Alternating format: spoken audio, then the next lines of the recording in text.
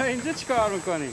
خبر رو می‌کردی مدن پایین خب. من موندم 2500 سال پیش نش تو این همه راه میبدن تا ای بالا سر خاک مرده. سرانجام تاریخ اکران عمومی تازه ترین ساخته اسخر فرهادی در ایران مشخص شد. 5 آبان قهرمان وارد خواهد شد. اکران این فیلم پنج روز پیش از پایان موعد معرفی فیلم های بین المللی به اسکار 2022 آغاز خواهد شد و این به نوعی به معنای نمایندگی ایران از سوی اسخر فرهادی و فیلمش در اسکار 94 روم خواهد بود. تاریخ اکران عمومی قهرمان در فرانسه 22 دسامبر امسال یعنی اول دی ماه همان شده. در آمریکا قرار است از 7 ژانویه 17 دی به نمایش درآید و دو هفته بعد در سامانه نمایش آنلاین آمازون پرایم قرار بگیرد.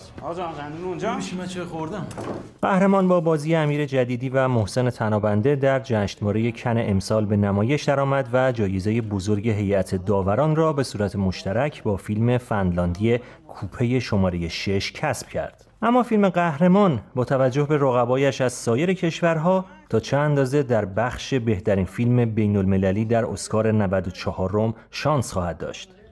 با اتمام نسبی شرایط خاص ناشی از همهگیری ویروس کرونا امسال شاهد بودیم که فیلم های بیشتری از جانب کشورهای مختلف عرضه شدن و در جشنواره‌های مختلف شرکت کردند فیلمایی که از نظر کیفی هم جهش محسوسی رو نشون می‌دادن و این نشون میده که رقابت احتمالا فشرده تری رو در بخش اسکار بین المللی امسال شاهد خواهیم بود به خصوص در برخی کشورهای مدعی که از همین حالا هم نامشون مطرح است. مثلا در خود فرانسه دو فیلم برنده شیر طلایی جشنواره ونیز و نخل طلایی جشنواره کن هر دو می‌تونن مدعی رقابت در اسکار بین المللی باشن اگر این کشور اونها رو معرفی بکنه.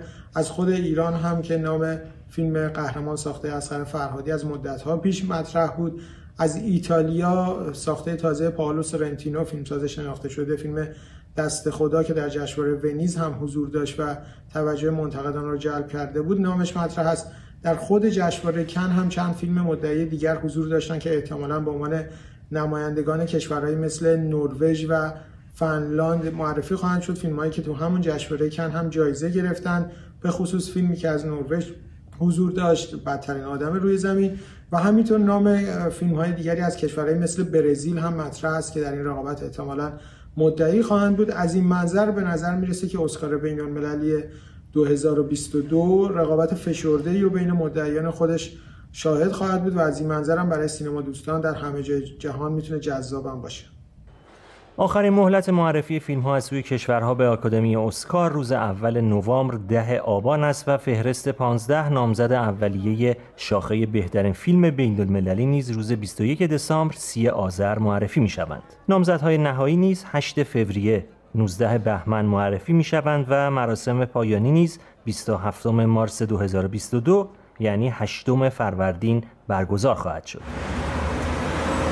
اما شاید اکران عمومی فیلم قهرمان در ایران بتواند تکانی اساسی به گیشه های یخزده سینماهای کشور در این ماه های کرونایی بدهد و پای تماشاگران را مجددا به سالن ها باز کند. از ابتدای امسال تا کنون تنها 13 فیلم در سینماهای ایران روی پرده رفته و این فیلم ها تنها حدود یک میلیون نفر تماشاگر داشتند. یعنی روزی پنج هزار نفر که اگر میانگین هر سالن سینما را با 300 صندلی مد نظر قرار دهیم به طور متوسط در هر روز تنها 16 سانس در کل کشور با تماشاچی پر شده است. مهدی تاهباز رادیو فردا.